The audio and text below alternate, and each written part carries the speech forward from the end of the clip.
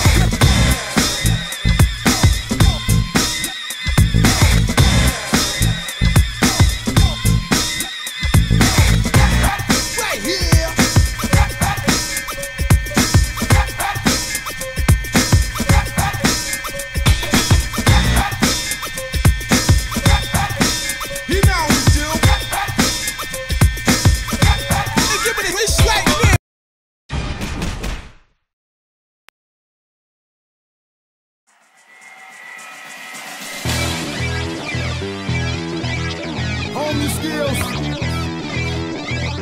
Look, boy, you in the danger room.